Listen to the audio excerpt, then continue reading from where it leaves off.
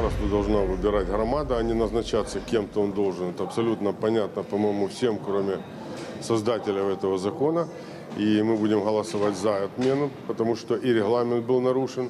Второе – это закон о земле, где тоже был нарушен регламент. А самое главное, там сам по себе закон дает преференции э, международным финансовым корпорациям в ущерб нашим фермерам скупить землю. Потому что у наших фермеров таких финансовых возможностей, как у корпораций, нет. Поэтому мы будем голосовать за отмену этого закона.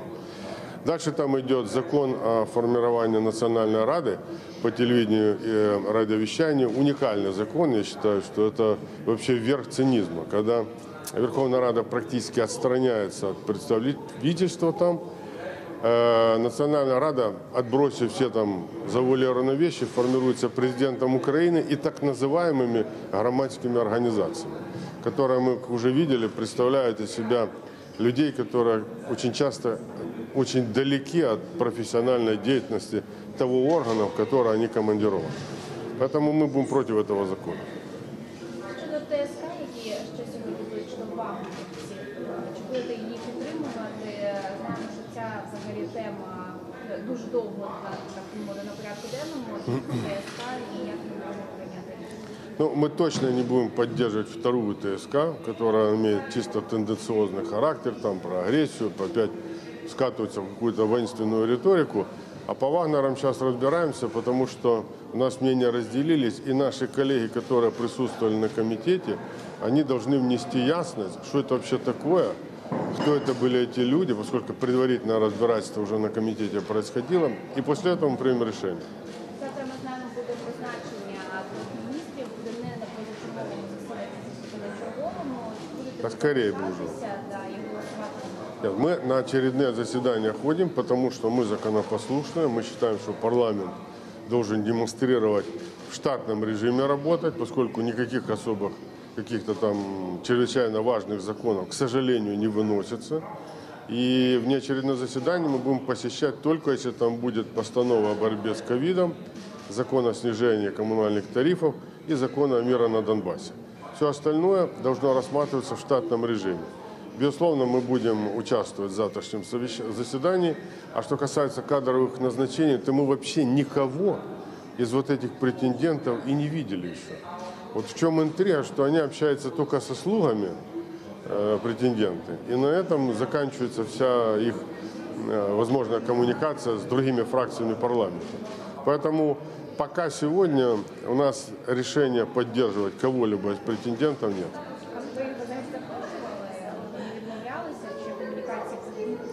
Смотрите, есть определенный порядок назначения руководителя на должность. Он был заведен даже в прошлом парламенте, при всех тех как бы, его э, сложностях, он существовал. То есть претендент на должность приходил на фракцию, показывал свою программу, рассказывал, что он будет делать, и после этого фракция принимала решение, поддерживать или нет. И это было.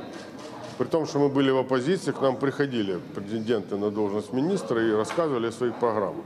Сейчас вообще они появляются как чертик из табакерки за 20 минут до голосования. Никто их в глаза не видел. Вот привели, там, давайте за него голосуют, потому что его утвердила фракция «Слуга народа». Ну вот они доутверждались уже до того, что экономическая ситуация практически критична и продолжает, к сожалению, эту же пагубную традицию игнорировать другие фракции при кадровых назначениях. Естественно, вот в таком виде мы не можем поддерживать кого-либо, пусть даже он там и может быть достойный человек, если он не представит свою программу и не покажет, как это будет работать.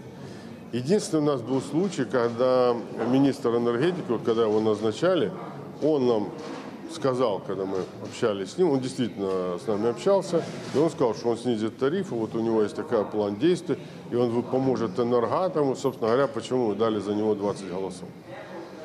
Завтра буде підсумкова прес-конференція президента України Володимира Зеленського. Розкажіть, як ви рапорта виносить, які питання ви б йому задали, і власне як оцінюєте взагалі два роки його каденції?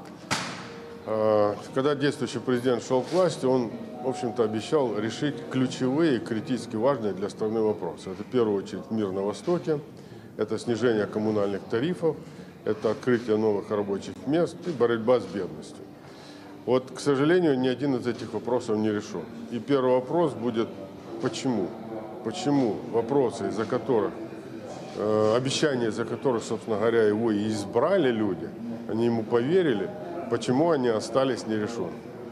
Потому что какие-то мелкие вещи, там, э, убрать недоторканность депутатов, что там такое не принципиально, они, они порешали. И они пытаются это имиджево представить как достижение. А вот ключевые вопросы, критически важные для страны, они остались нерешенными. Это самая главная проблема. И я не вижу пока политической воли у действующего президента выполнять обязательства, которые он взял, когда шел на выборы. Он не, не, не собирается исполнять э, свои обещания. Вот это, к сожалению, самая главная претензия к нему. Что касается дальнейшего, то пошли по пути зрелищ, то есть устроили там из СНБО какую-то тайную канцелярию, там штампуют какие-то решения сомнительные с точки зрения юридической и незаконные.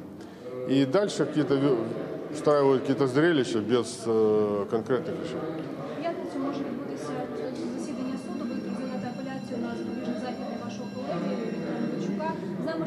що так само є апеляція з боку прокуратури. Ви вимагаєте, все ж таки, щоб е, народного депутата взяли під варту і заставу 300 мільйонів. Як ви думаєте, на чию сторону все ж таки стане суд? Я не могу комментировать решение суда. Я надеюсь, что у нас правосудие будет объективным.